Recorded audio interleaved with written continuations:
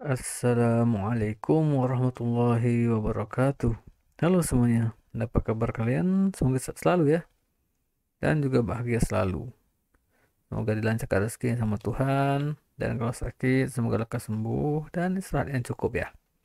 Dan bagi yang belum dapat kerjaan, semoga cepat dapat kerja ya. Dan bagi yang belum nikah, semoga dekatkan jodohnya oleh Tuhan dan dilancarkan urusannya sampai pelaminan. Oke. Jadi kali ini kita bikin lagi yaitu tutorial ya. Jadi kali ini kita bikin tutorial lagi. Tapi kali ini kita itu saya siap siapkan ya. Yaitu Linux yang dikembangkan oleh orang asli Indonesia ya. Ini ada dua yaitu Blankon atau Blankon. Ini ada versi terbaru yang Uluwatu yang ada Blankon ini ada macam versi ya? Ada Konde ada Ombilin ada Patimura yang saya pakai ini yang versi 11 yaitu Uluwatu. Jadi nama environmentnya disebut Manokwari. Jadi yang di Indonesia banget lah gitu ya kira-kira. Jadi ini ada lagi. Yang ini namanya Igos. Mungkin saya tidak tahu penyangan apa. Mungkin Indonesia Garuda OS ya ini dikembangkan oleh LIPI Indonesia, lembaga penelitian ya, yang bagian informatikanya. Ini yang terakhir versi 12 ya. Yang 13, 14, 15 katanya mungkin ada kurang dana untuk mengembangkan, saya nggak tahu situ kenapa di situsnya dibilang tidak tahu kapan mau rilis lagi. Jadi kita kali ini coba aja yang IGOS ini Indonesia Garuda OS lah kira-kira ya. Kita sebutnya gitu biar mudah pertama bikin virtual mesinnya dulu. Nih kalau mau download bikin aja. Ini Igos ini ada itu nah di situsnya. Memang dari LIPI ya.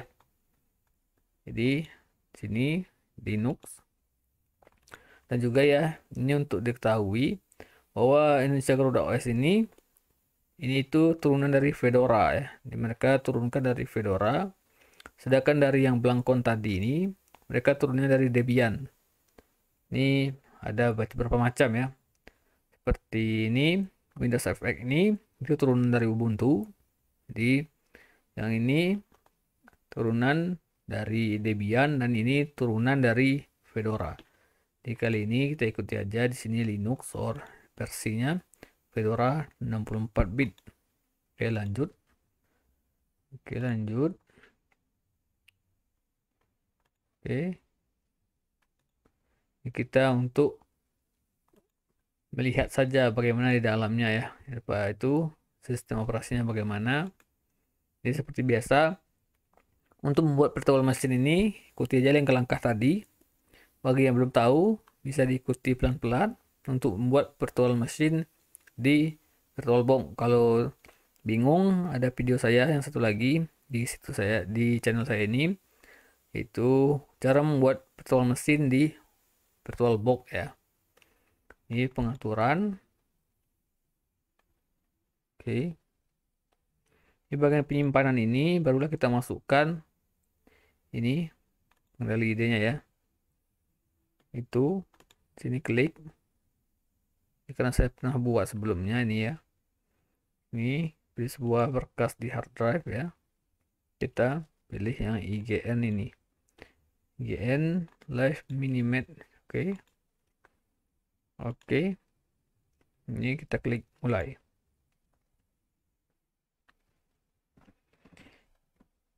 Jadi saya lagi ini bikin ya kita lihat. Jadi saya buat ini untuk memperlihatkan pada yang lain mungkin. Banyak sekali varian dari Linux ini. Bagi yang tidak mau lagi pakai yang OS berbayar dan mau belinya nggak ada uang banyak ini ada ya. Jadi di sini bisa dilihat. Oke. Ini itu tadi ada persinya. Indonesia Garuda Nusantara ya. Oke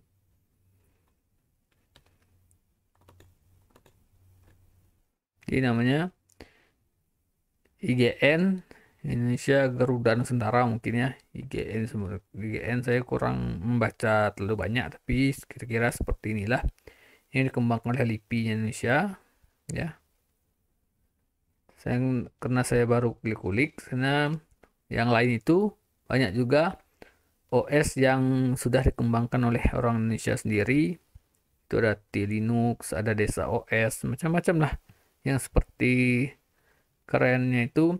Dan juga adalah satu, lagi yang mungkin yang untuk analisis seperti kali Linux ada Drag OS yang saya belum coba ya.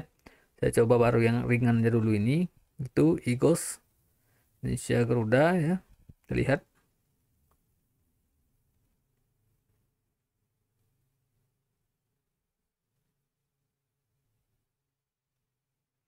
Jadi bagi yang belum tahu ini gitu. Oke. Begini saja.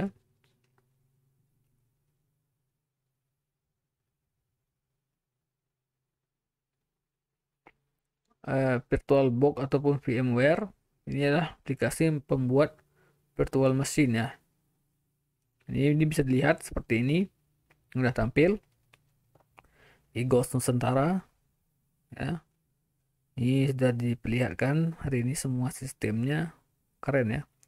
Jadi OS ini langsung memperlihatkan sistemnya lagi yang jadi masih jalan di sini ya. Ini. Indonesia Garuda OS Indonesia Igos Nusantara 2016 ya ini persinya ya. Persinya mereka rilis tahun 2016 tidak tahu kenapa nggak ada pengembangan lagi mungkin itu internal mereka.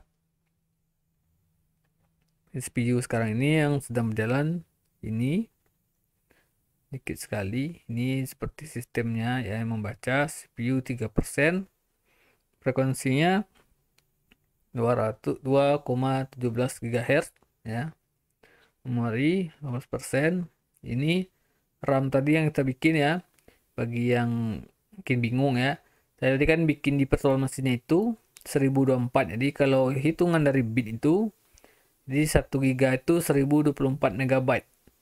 Jadi ya tapi dalam penggunaan tidak selalu mutlak harus 1024 kadang-kadang kurang kadang-kadang lebih ya. Jadi yang digunakan sekarang RAM-nya itu 189 megabyte. Jadi bagi yang mungkin ada punya laptop notebook yang lama gitu ya mungkin lihat tadi itu cepat sekali gerakannya ini untuk didesain di perangkat-perangkat lama ataupun notebook yang ringan yang RAM-nya tidak besar ya.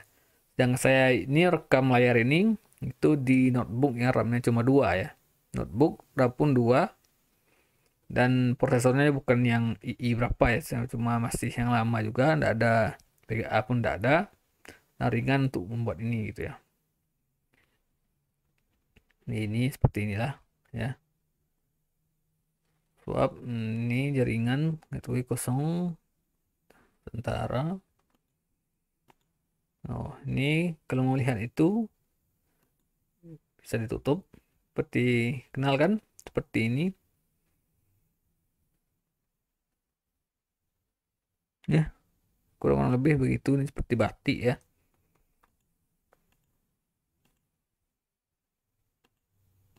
Ini ini seperti biasa untuk mematikan ya. Oke ini jamnya. Tanggal. Laptop ini jaringan sound. Ya piston. Ya seperti biasa ini dari emulator. Di Linux selalu pasti ada eh, emulator ya terminal lah. Seperti CMD bagi di Windows ya. Eh, ini saya coba aja sasaran.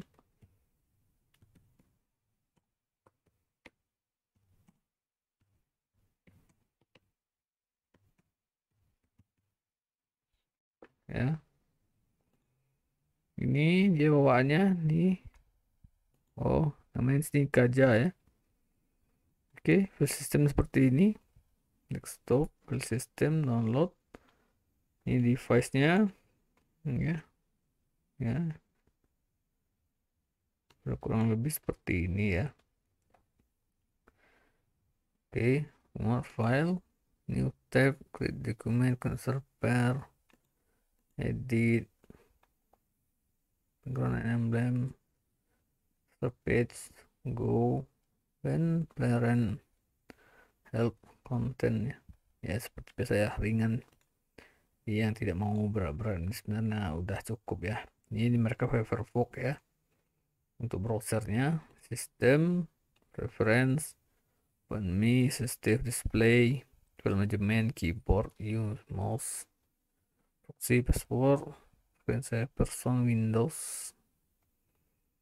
administration keyboard ya standard panel. Ini saya review aja ya isinya jadi dukunglah penggunaan semua yang ada di Indonesia ini. Kita patut berbangga sebagai Indonesia. Ini ialah Linux ataupun OS yang dikembangkan oleh Indonesia yaitu LIPI ya. Hardware. Administratif seperti tadi ya. Ini hardware untuk proxy. Ini sekarang parent personal. Field change them oh oh ini ya nah bisa ganti tema ya Lumenta oh, ya submarine paper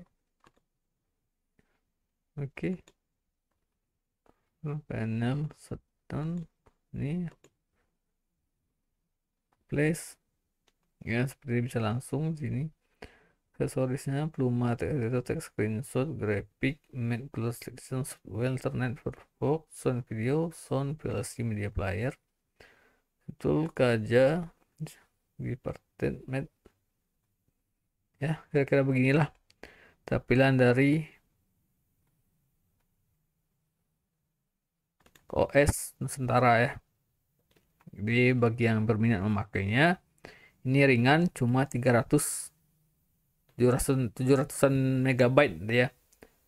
Ini memang didesain untuk komputer-komputer lama yang ringan ya yang RAM-nya tidak besar ya. Dicoba aja di sini tekan oke okay, suspend shutdown oke. Okay. oke. okay. Nusantara Igos Nusantara GN